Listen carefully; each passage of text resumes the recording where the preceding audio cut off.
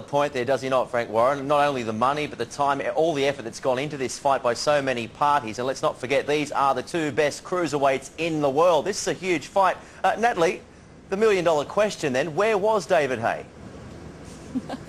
Good question. We got wind of the fact he was in and around the area. We thought he might be in the building. Uh, so, of course, I rushed downstairs to try and find out what was going on. Now, it turned out he was stuck in a little bit of traffic, but he arrived at about quarter past two, as he said he was contractually obliged to. Now, he's been training out in Miami, doing warm weather training. He is still running on Miami time because, of course, the fight on Saturday night is going to be around 2 a.m. for the benefit of American audiences. So David Haye has tried to stay on American time. He was training at 2 in the morning. He didn't go to bed till 6.30 a.m got up in time to come for this for, uh, for 2 o'clock for a 2.30 start to find that he wasn't being allowed in because Frank Warren's camp had done the press conference and uh, his promoters, uh, not promoter, his, his, trainer was saying he turned on the telly to find out he'd been told he was disrespectful. He almost couldn't get into his boxer shorts, he told us. Let me catch you up with what David Hayes said to me a little earlier on. Let's have a look. Still talking, doing all the same interviews I would have done, but the difference is I had some sleep. I went to bed at 6, 6.30 a.m. this morning to get me up at 11 o'clock is ridiculous. I'm used to, in an ideal world, I have 10 hours sleep straight through. I trained hard early this morning. Obviously the fight's going out live at 2 a.m. So, you know, I, I, need my sleep. We, we, we already agreed that I'd be here at 2 for 2.30. We've already agreed, it's already been agreed. But obviously they tried to change it earlier to cut a couple hours out of my sleep. But, you know, I was expecting these type of, uh, these type of moves, but I'm here now. Uh, I'm healthy. I'm full, fully rested. And this is what that's the main thing. Make make sure your athletes uh, are hydrated. Make sure they've had their sleep. Make sure they're healthy. That's the main. That should be the main goal. Not you know, some a silly deadline for a reporter, which I'm sure the deadline is not a big difference. Now they're saying that there was uh, an hour basically. It started at, it ended up starting about one. It would have ended up starting about two. two. It was, I, I, it was always it was always two o'clock to me. At no stage have we agreed that it be at. We actually we requested it to be at four o'clock they said no, two o'clock's the latest we could do it. So we said okay, two o'clock it is. And then for some reason it magically went down to 12:30. So uh, you know. So they've interpreted this as you are running scared. You're scared of meeting I'm, Enzo Maccarinelli here. I'm, I'm, here now. You know, I'm here when I said I'd when I said I'd be here, and I'm here. i will be here. I'll be at the weigh-in tomorrow when I'm contracted to be at the weigh-in.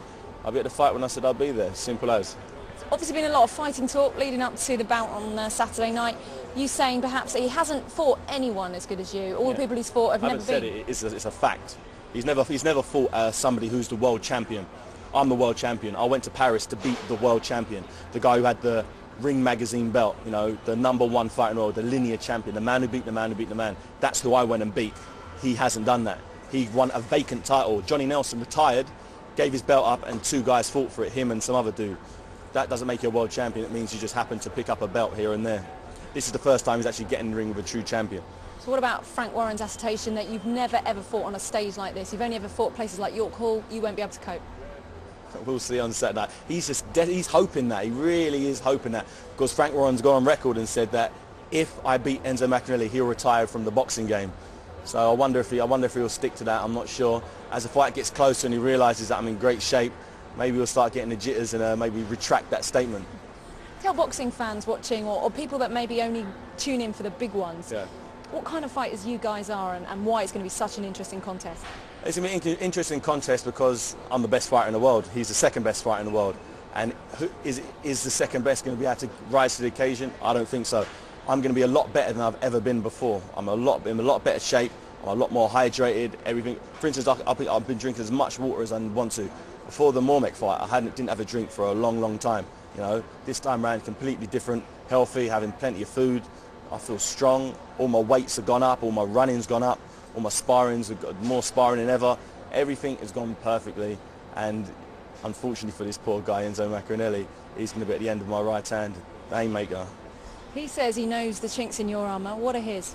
He's, he's going to get in the ring with me. That's the big chink in his armour. He's going to get in the ring and he's going to get knocked out.